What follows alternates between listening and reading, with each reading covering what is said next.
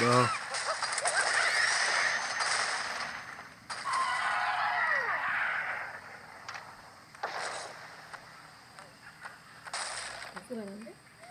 Uh, see?